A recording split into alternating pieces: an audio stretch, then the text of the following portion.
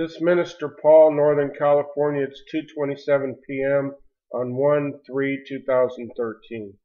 Please, if you're a regular follower of this ministry, um, understand that I consider today a 7-3 day.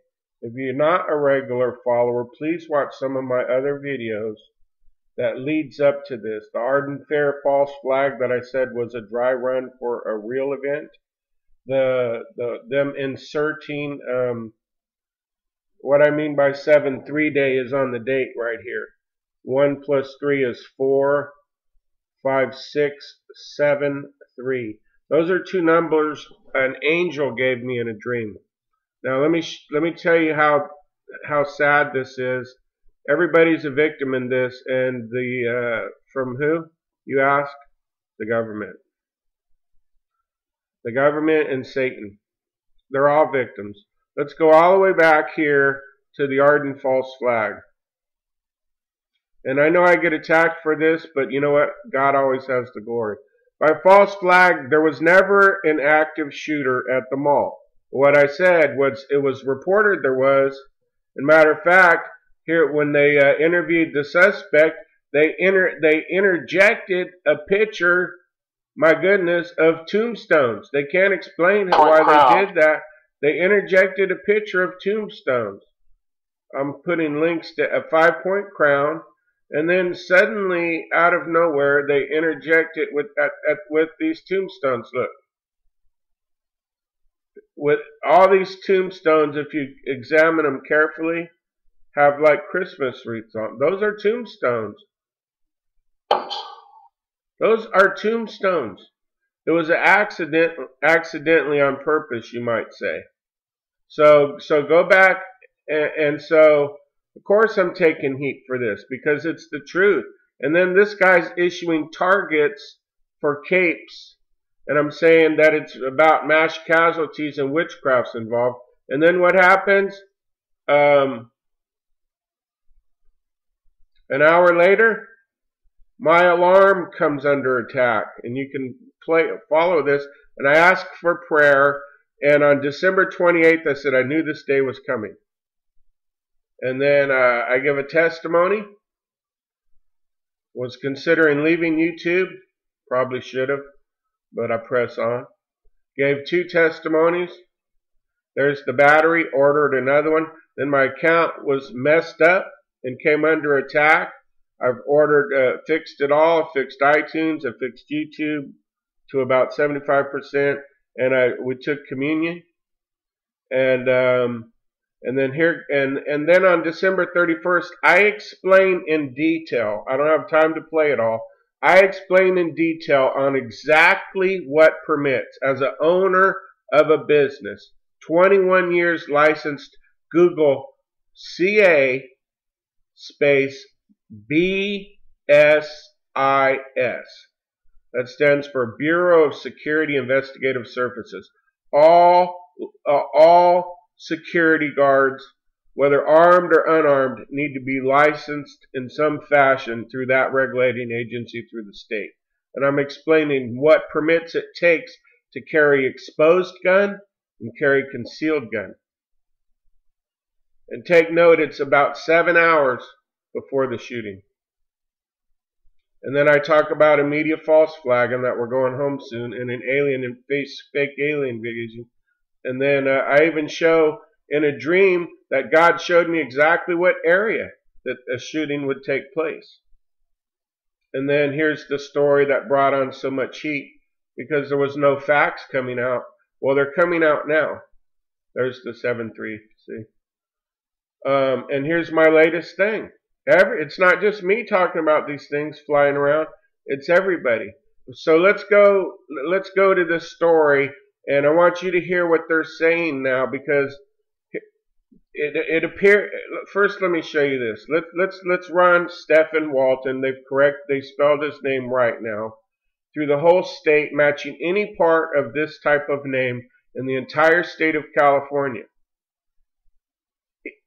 if he, it, it, look, I'm going to tell you that Sheriff John McGinnis is wrong, and I'm going to put a link to. There's he doesn't have a guard card or a gun card. The victim. But here's the crazy conspiracy theory I have is that Satan is unleashing a mighty uh, demonic power. You're seeing it in the heavens and you're seeing it on your, it's just everybody's under this spiritual attack because God is about ready to, to outpour glory and protection. And this is like Satan's last stand. You understand?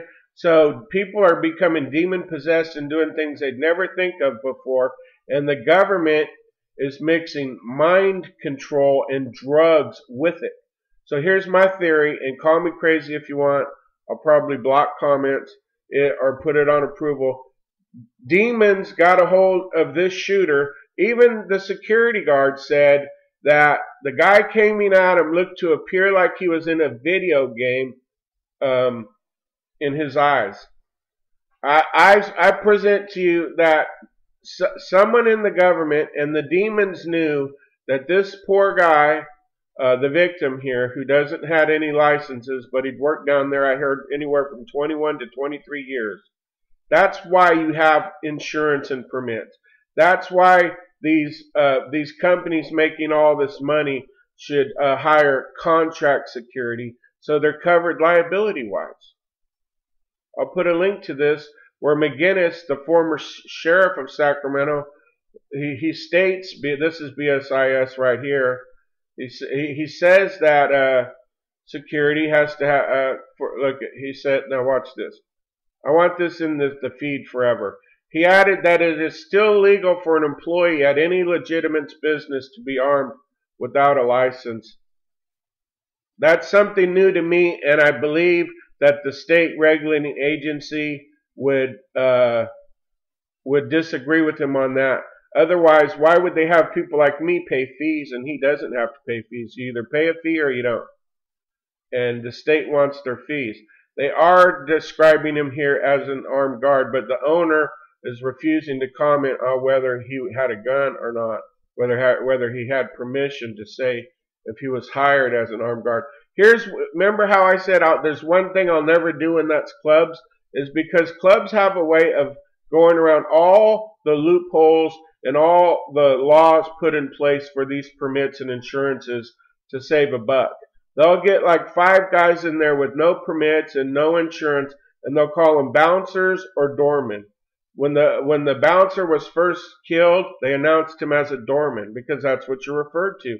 It's just a way of them. It's verbiage. They don't want to call you a security guard because at that point they have to uh, have uh, workers comp on you, which is thousands of dollars for doing security work, and they and you have to have a permit, and uh, there's a lot of liability involved. I carried two million dollars in liability. Let's watch this video.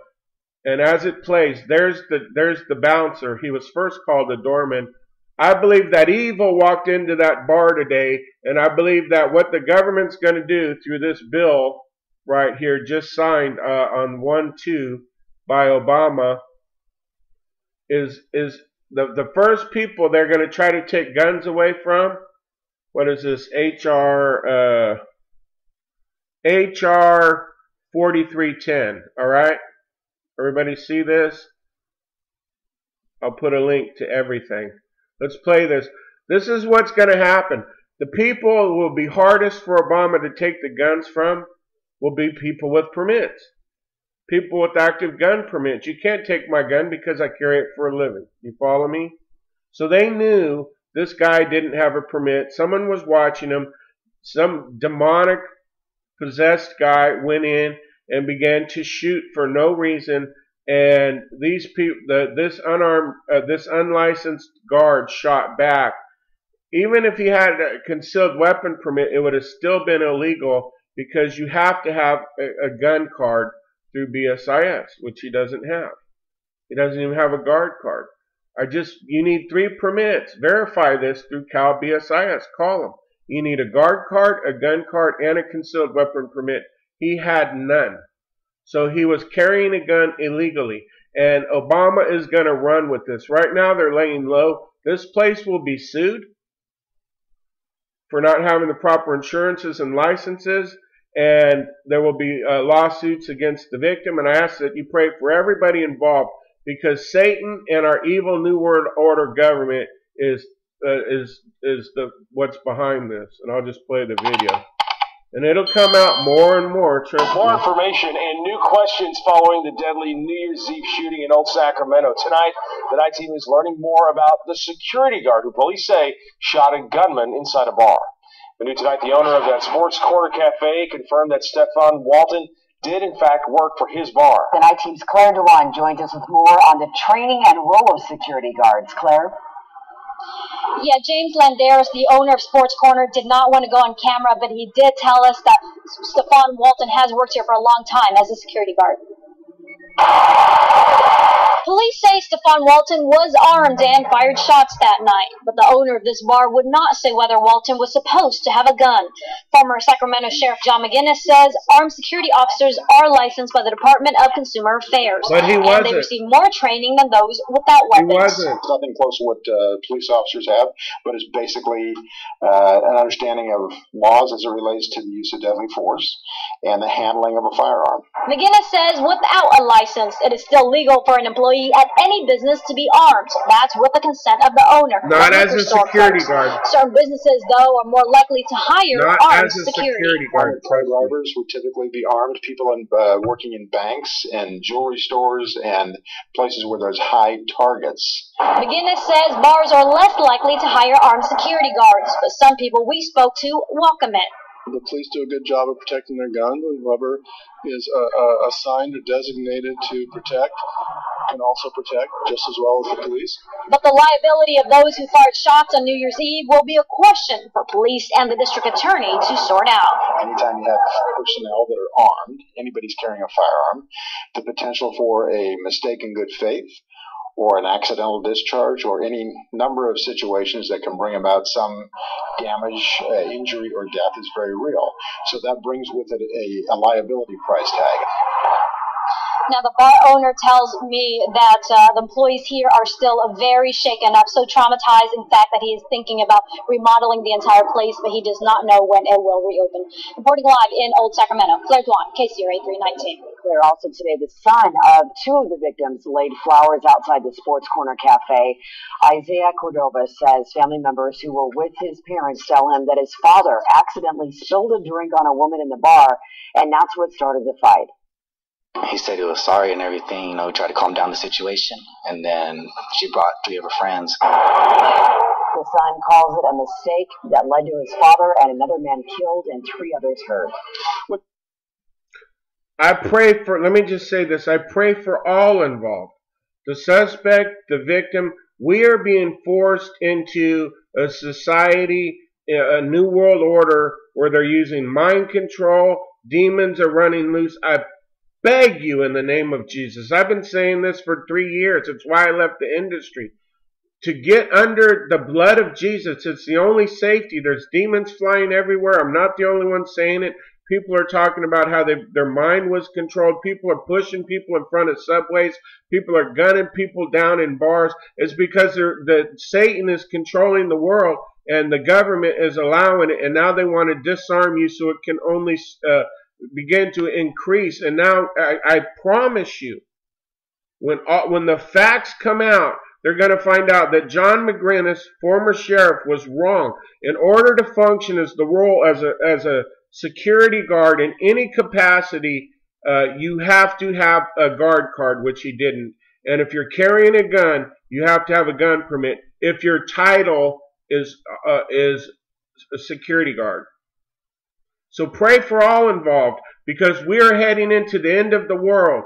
And I'm exposing the biggest conspiracy theory ever that it, it began with Obama in 2008. It was set into motion to bring us all into a microchipped New World Order Antichrist beast system. And the church is about ready to rapture up out of here. And you better be ready, saints. You better be ready. You heard it here. Um, I'm not, don't judge me. Don't send me the hate mail. Don't hack my account. I'm just giving my opinion. This did not need to happen. And, and the, the, they're just waiting for the right time. One of the guys on the door was also a bouncer that was killed. Did you know that? I'll put a link to that. They announced him as a doorman That's their way of getting out of paying him on workers' comp as a security guard, which